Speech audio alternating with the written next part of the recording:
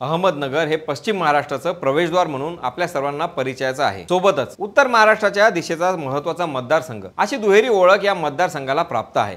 शिवाय नुकतंच अहमदनगरवरून अहिल्यादेवी नगर म्हणून नामांतरित झालेलं शहर प्रचंड राजकीय हालचालींचं केंद्र आहे.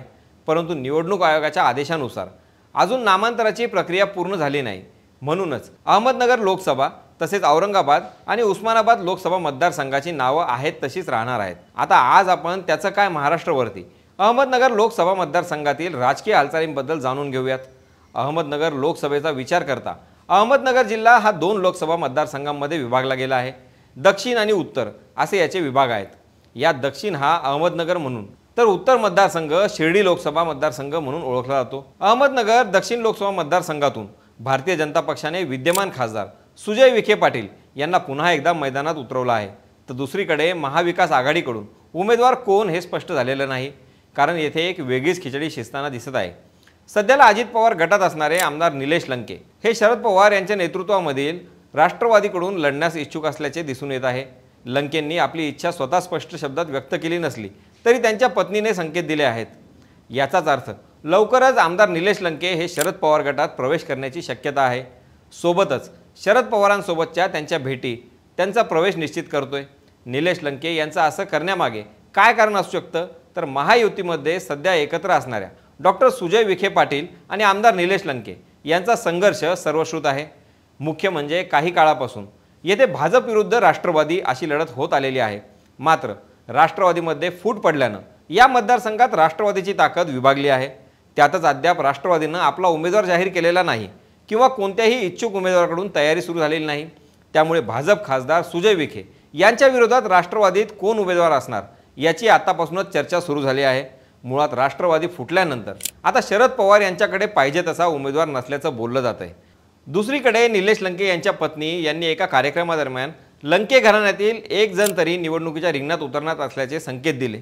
त्यामुळे निलेश लंके हे पुन्हा एकदा घर वापसी करून अहमदनगरच्या निवडणुकीत आपलं नशीब आजमावू शकतात. असं असलं.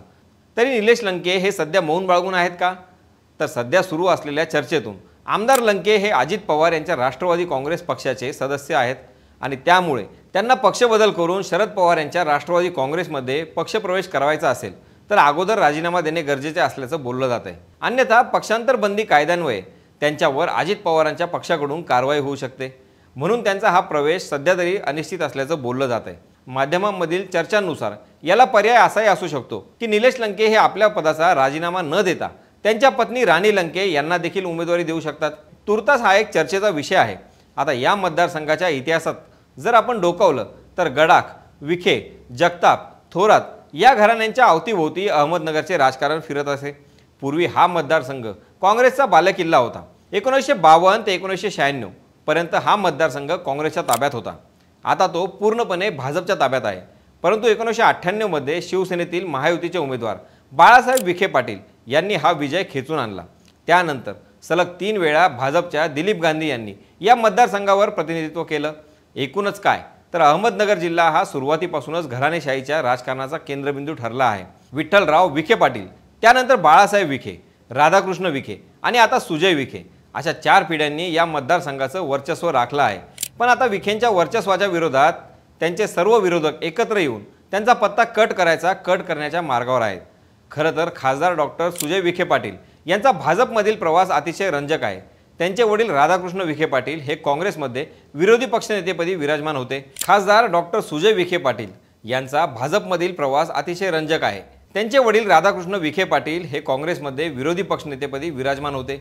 दोन हजार एकोणावीसच्या निवडणुकीत नगरची जागा आघाडीमध्ये राष्ट्रवादी काँग्रेसकडे होती. काँग्रेसने ती जागा सुजय विखे पाटलांसाठी सोडण्यास गळ घातली. परंतु शरद पवारांनी ती सोडण्यास नकार दिला. अर्थात त्याला कारण पवार आणि विखे पाटलांमधील राजकीय वैमनस्य हेच होतं. एक वेळ अशी आली होती की पवार आणि नगरची जागा काँग्रेसला सोडल्याचे जाहीरही केले होते आणि सुजय यांनी त्याबद्दल पवार यांचे आभारही मानले होते.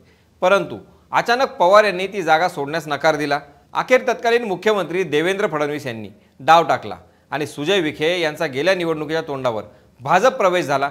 निवडणुकीनंतर काही दिवसातच राधाकृष्ण विखे पाटील यांनी भाजपमध्ये प्रवेश केला. आता सुजय विखे यांना टक्कर देणारे निलेश लंके कोण आहेत हे जाणून घ्यायचे झाल्यास निलेश लंके हे अहमदनगर जिल्ह्याच्या पारनेर मतदारसंघाचे आमदार आहेत. दोन हजार एकोणावीसच्या विधानसभा निवडणुकांमध्ये राष्ट्रवादी काँग्रेसच्या तिकिटावर ते निवडून आले. पहिल्यांदाच ते आमदार म्हणून निवडून आले.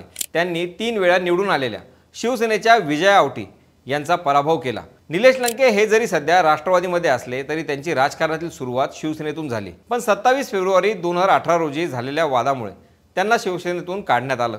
त्यानंतर त्यांनी निलेश लंके प्रतिष्ठानच्या मार्फत सामाजिक काम करण्यास सुरुवात केली. शिवसेनेतून काढल्यानंतर निलेश लंके यांनी राष्ट्रवादीत प्रवेश केला. दोन हजार एकोणावीसची विधानसभा निवडणूक त्यांनी राष्ट्रवादीकडून लढवली आणि ते निवडूनही आले. आता पुन्हा एकदा आगामी लोकसभेवर यायचं झाल्यास यावर्षी सुजय विखे पाटील यांच्यासाठी ही निवडणूक धोक्याची ठरू शकते. आणि निलेश लंकेमुळं महायुतीचं गणित बिघडू शकतं. ते कसं?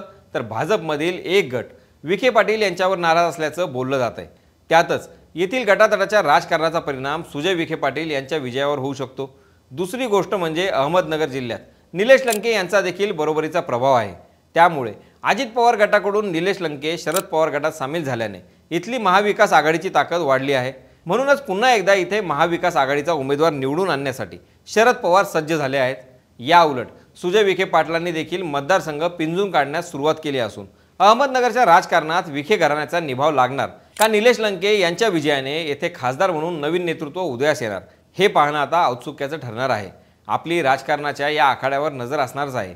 कुठेही जाऊ नका पाहत राहा आणि सबस्क्राईब करा. त्याचं काय महाराष्ट्र?